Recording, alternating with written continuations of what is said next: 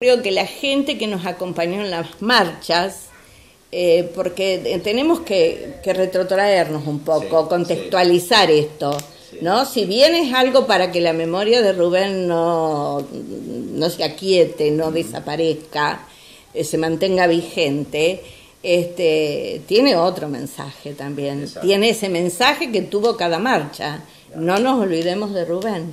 No nos olvidemos de nuestros chicos no nos olvidemos de la inseguridad, no nos eh, estemos presentes. Y bueno, ¿y qué mejor que el que puede y el que no puede y tiene un juguete en buen estado, que el nene o la nena ya no lo usa y lo puede donar? Y el que puede, si no tiene chicos en la casa, ir a comprar, un juguete.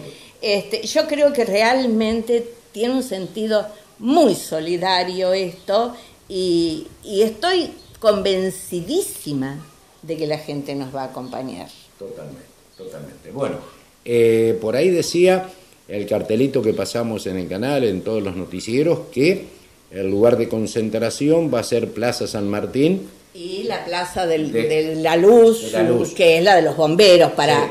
Porque por ahí la de la, Plaza Bomberos. Sí, eh, la de la luz suelen confundirla con la del agua. La del agua. Pero sí, la, la, que está enfrente de la cooperativa eléctrica. Exacto, exacto. ahí, ahí va a haber dos mesas.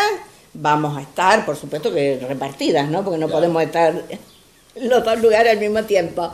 Este, vamos a estar repartidas y bueno, recolectando todo desde 18, 18 a 20. De 18 a 20, los, dos días. viernes eh, y sábado. Viernes y sábado 18 a 20. Y por ahí también leíamos que aquellos que por cualquier eh, incomodidad no puedan llegarse ni a la Plaza de Bomberos ni a Plaza San Martín, pueden venir acá a tu casa. no hay ningún problema, pueden traer acá, que yo estoy todo el día, cualquier día, cualquier hora.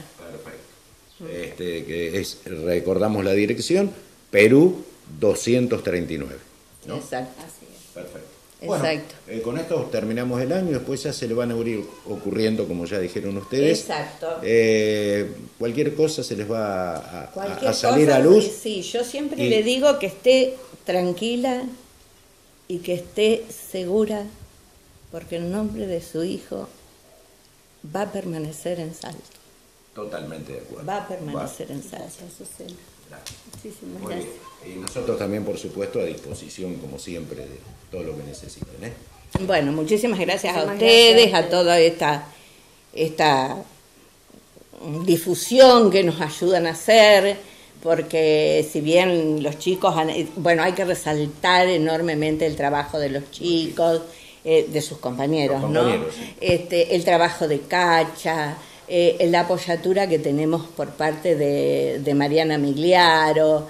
Eh, es decir, es un grupo de gente que no la va a dejar sola Liliana. Y hay más gente que yo sé que se va a acercar, porque a mí me han dicho cualquier cosa que hagan, avísame por favor. ¿eh? O sea que la gente es consciente.